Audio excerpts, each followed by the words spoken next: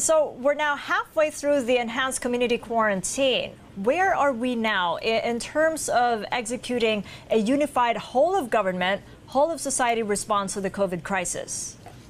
Well, uh, as expressed in the uh, Bayanihan uh, to Heal as One Act, uh, it shows that uh, whole of government, whole of society have to be involved in this uh, battle against the coronavirus. And uh, that's being carried out now, being carried out uh, by the interagency uh, task force on uh, uh, emerging uh, contagious diseases and also was expressed by the president last night at 10 a.m. at 10 p.m. After the adjournment of the IATF uh, 18th uh, meeting. Sure. So, how exactly do we get to to a level of, of national coordination? How do we get to uh, the well coordinated measures when, when there's been uh, a delay in the distribution of the rapid test kits and the approval from the FDA just came through, and for the hospitals to be able to do these tests on a national level? Well, uh, yeah, there have been some glitches. There have been some uh, delays in the in the approval of uh, te- uh, rapid testing kits, but finally uh, that has already been uh, settled. And in terms of the distribution of food packs, that has been going on already since uh, the first uh, week of the uh, enhanced community quarantine, and uh, soon, maybe wi- within the week, the distribution of financial assistance coming from the 200 uh, peso uh, pesos approved by the during the uh, special session of Congress will begin to be distributed based on the listing listahan uh, like uh, the listahan for the unconditional cash transfer and the conditional cash transfer that will be used for identifying the beneficiaries. And uh, the, the mode of distribution for cash aid, is this going to be done the way uh, CCT had been done, or is it going to go through the banks or, or other financial intermediaries? Uh, it will go through financial inter- intermediaries and it will be handled at the local level by the mayors. And that's going to happen sometime later this week, is that correct? Yes, that's correct. And are, are we still expecting some sort of implementing rules and regulations uh, for the stimulus law? A stimulus law. Uh, yes.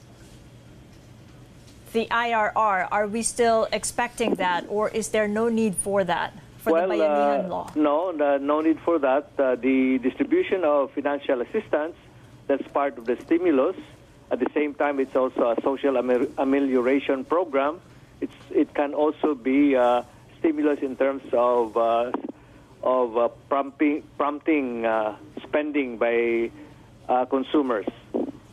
That's true because there's really this delicate balancing act between getting our people back to the pink of health and, and keeping the economy humming right along. So, what is the minimum rate at which the economy should grow enough for, for the economy to save lives and livelihood? Well, uh, although we can expect some uh, negative growth uh, during uh, perhaps the second quarter and probably moving on to the third quarter, but th- those will be transitory. We, we should be able to res- resuscitate the economy to uh, positive growth rate by the fourth quarter or later in the year. Yeah, I know. We talked about these revised growth target ranges last Tuesday, and, and to which you cited the lower end of the band to be uh, negative 0.6%. Does, does that still stand, or have the target ranges shifted a week on with the steepening of the infection curve? Uh, that uh, that is uh, still uh, more or less correct. Uh, that those are quarterly numbers because this thing, this thing is moving very fast. That's true. It- it's so, going to change from quarter to quarter. so a negative 0.6% worst case scenario for the second quarter. What about the third and the fourth? Well, it could be zero growth rate or a slight negative. negative, and then the third quarter something similar, and depending on uh, if the uh, community quarantine will be extended. Is that what you're hearing? That the uh, community quarantine might be extended? Uh, not yet. No, no decision on that yet. We are going to uh, review the uh, the system, and uh, we will decide uh, on the uh, fourth week of the quarantine, before the end of the uh, quarantine, the enhanced community quarantine that covers the whole of Luzon. So, two quarters of potential negative growth. W- would you consider that a prolonged economic recession? Uh, well, uh, the new definition of uh, recession now is uh, two consecutive quarters of negative growth rate. Uh, the third quarter negative, it's still it's still a speculation, and that's also what international financial financial institutions have predicted. But we hope it's not going to be uh, negative uh, even in the third quarter if we do something about the enhanced community quarantine before then. Best and worst case scenario for jobs. What will it mean for the unemployment rate? Because we're now at an historical low of 5.1%. Well, uh, we are expecting uh, uh, uh, from around uh, 300,000 to 600,000 workers uh, displaced from their employment. So that would pull up the unemployment rate to double digits? Is, is that the Uh, worst case not quite. Uh, close to double digits. It's, it will be, definitely be higher than 5.1% that was recorded last year. And when would be the last time we came close to double digit for unemployment rates? Oh, uh, I think when we came in in this administration, it was already trending down. It was already just upper, or you know, uh, close to double digits. But uh, we have brought it down to uh, as low as uh, historical low of 5.1 percent now, and uh, well, it's likely to spike back to you know where we were when we started. Yeah, looking past recession periods, uh, Secretary Ernie, economies were, were really inherently weaker even without the lockdown. So this meant losing jobs, uh, leading to business closures, and some increased loan defaults, non performing loans, uh, reduced economic and business activity. So is this a scenario that you're seeing linger for, for months or even years? Uh, but by the way, there's also going to be uh, financial assistance to uh, enterprises that are in uh, in a difficult situation, especially small, micro, small, and medium enterprises. It's part of the 275 uh, amount that uh, was uh, passed by the uh, by Congress for the Bayanihan uh, to heal as one act.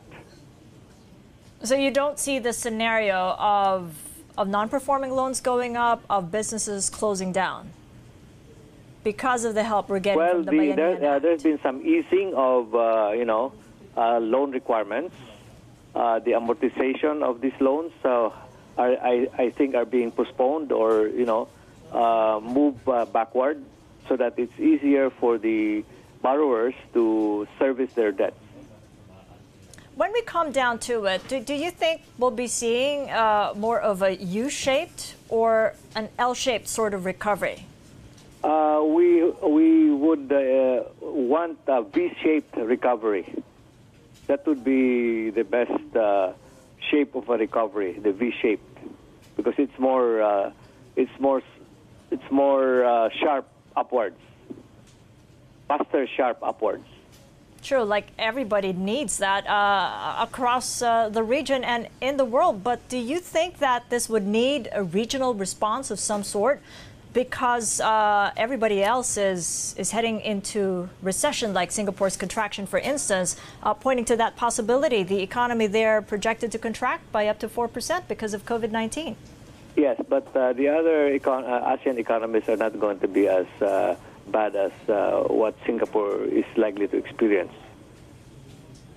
Where would we be at the, uh, the regional league post COVID with the kind of help we're getting on the fiscal side and the monetary policies that have been implemented? Well, the on the fiscal side, the weak, uh, it, the worst that we could expect would be uh, a budget deficit uh, to GDP ratio of around 5.3 percent, which is pretty high, and we should not we should really exit from that uh, uh, debt uh, uh, debt to GDP uh, no not debt but uh, deficit to GDP ratio as soon as possible. A final point, Secretary. I know that you've mapped out the economic recovery plan. Uh, you've done uh, three phases of that. There's the uh, the clinical, medical response. We've talked about that. Uh, rebuilding confidence and and resume a normal state of economic activity. Uh, question is, do do we get to phases two and three only after the lockdown is lifted? Well, uh, we, uh, I, I think the uh, the plan is to revive uh, consumer and business confidence. You know, even sooner. And there is now a task technical working group uh, called uh, accelerated accelerated accelerating and uh, forward planning, accelerated and forward planning, which is going to be chaired by NEDA and that's going to be the the way by which we could you know plan systematically how to really uh, get back uh, to where we were before. That sounds good. And we got to get you back uh, for more details on that uh, task force you just mentioned. Thank you so much for the opportunity and keep well as always. Uh, Secretary you too. Kathy. I will do. Thank you.